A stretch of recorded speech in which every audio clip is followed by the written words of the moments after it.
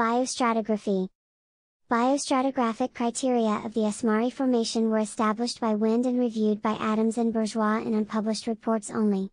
Biozonation and age determinations in the study area are based on benthic foraminifera biozonation of Adams and Bourgeois. From the base to the top, two foraminiferal assemblages have been recognized and were discussed as it follows. Assemblage I This assemblage corresponds to the Eulepidina Nephrolepidina nummulites assemblage zone, 3.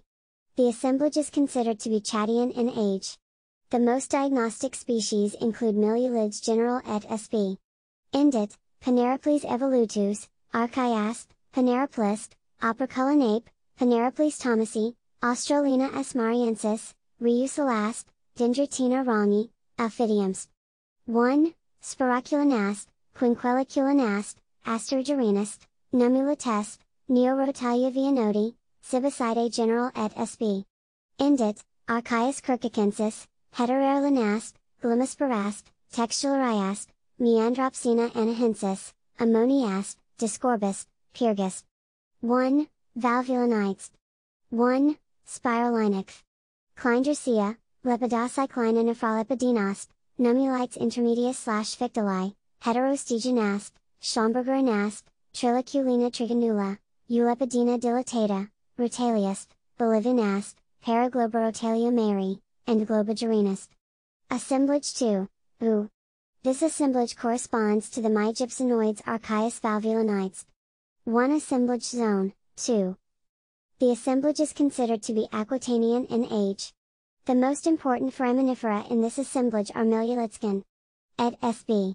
Indit, Peneroplis evolutus, Archiasp, Paneroplist, Operculinape, Peneroplis thomasi, Austrotrillina asmariensis, Riucelasp, Dendritina rangi, Ophidiumsp. 1. Spiroculinasp, Quinqueliculinasp, and Archaias kirkukensis. Microfacies analysis. The microfacies analysis of the Asmari formation in the study area has resulted in the definition of seven types of facies, which characterize the platform development. Each microfacies exhibits typical skeletal and non-skeletal components and related sedimentary textures.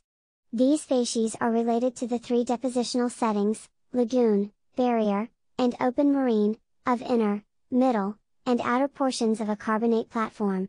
Since the Asmari Formation overlays the Pabdeh Formation and conformably underlies the Gachsaran Formation, some samples from the Pabdeh and Gachsaran formations have also been studied. The general environmental interpretation of the microfacies is discussed in the following paragraphs. There are intercalations of marl across the section, but this facies mainly occurs in the lower part of the succession, AD. They are gray to green marl and contain benthic, miliolids, nummulites, neorotalia, elphidium, operculina, amphistegon textularids, and planktonic, Paragloborotalia mayerion globigerina, foraminifera. The planktonic foraminifera occur at the base of the succession, where the boundary between the Pabdeh and Asmari formations is located.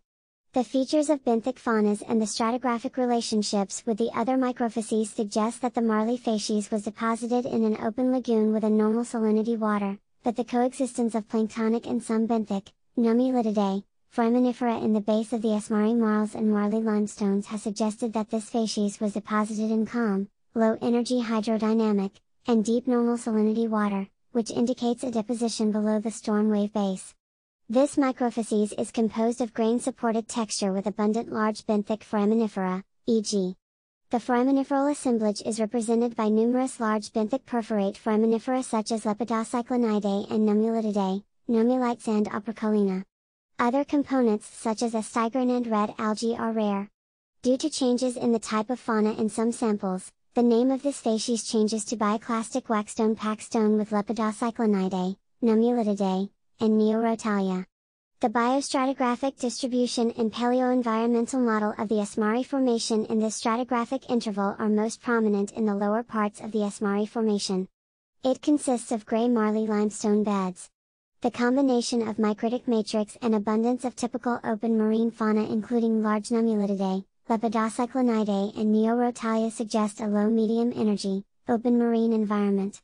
Other bioclasts such as red algae and shell fragments are rare. This microfacies shows an environment between the storm wave base and fairweather wave base, FWWB. The presence of large nummulites and lepidocyclinids suggests that this microfacies took place in relatively deep water and was formed in the lower photic slash oligophotic zone in the distal middle ramp. This facies is characterized by the abundance of scleractinian and massive coral colonies, H and I. This microfacies is interpreted to be formed by in situ organisms as an organic reef, bioherm, in margin of platform and was located above the Fairweather wave base, FWWB. Miliolids, coralline red algae and coral are dominating components in this microfacies, J and K. Other bioclasts are rare but include Paneroplycin dendritic fragments. The textures are wackestones. The MF5 represent low to medium energy open lagoon shallow subtidal environments, but they are different from MF4 by their texture and grain composition. Depositional textures, fauna and stratigraphic position took place in warm, euphotic and shallow water, with low to moderate energy conditions, in a semi-restricted lagoon. This area is located within intercarbonate platform setting. The presence of well-preserved coralline algae indicates a relatively quiet water environment with a stable substrate and low sedimentation rates. The associations of miliolids within this species support the additional interpretation of a relatively protected environment, probably the inner part of a platform. This species is characterized by the dominant presence of small benthic foraminifera, miliolids, L and M. Other components such as Peneroplis, Elphidium, Bryozoan and extraclast are rare. The matrix is fine-grained micrite. This facies is characterized by low diversity skeletal fauna and was deposited in a restricted low-energy lagoonal environment. There is a low biotic diversity of fauna, which shows a high stressed habitat in very shallow restricted areas, where great fluctuations in salinity and temperature probably occurred. The main elements of this microfacies are skeletal and non-skeletal components, N and O. The skeletal components include a high diversity of imperforate foraminifera in grain-supported textures and several genera of benthic foraminifera, Austrotrillina, Archaias, Peneroplis, Meandropsina, Elphidium, Dendritin and Miliolids. Peloids are rare, and other minor biota consists of particles of bryozoans and corals. The occurrence of large number of porcelain and perforate foraminiferal tests may point to the depositional environment being slightly hypersaline. These deposits include different textures ranging from wackestone to packstone. Some porcelain and perforate foraminifera, Paneroplyce and Archaias, live in recent tropical and subtropical shallow water environments. Textural characteristics and prolific porcelain foraminifera suggest that a medium to high energy portion of a restricted lagoon with a nearby tidal flat sedimentary environment prevailed. Such an assemblage can be associated with an inner ramp environment. Anhydrite and gypsum facies have been observed in the upper part of the Asmari Formation, which represents the beginning of the Gachsaran Formation, p. The first anhydrite has been deposited above the marly limestones with a sharp contact.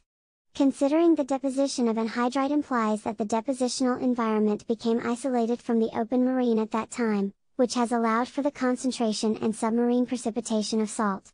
The thickness of the evaporite deposits indicates that they are submarine deposits formed in an isolated saline basin.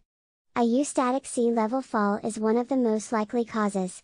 This event took place around the early Miocene, Aquitanian, and its stratigraphic expression was recorded at the boundary of the Asmari and Gachsaran formations. Based on Ehrenberg et al., this anhydrite is exposed at the top of the Asmari formation and indicates the Oligocene-Miocene boundary. Ehrenberg et al. Noted that strontium dates got from anhydrite formed as an evaporite rather than as a later diagenetic product.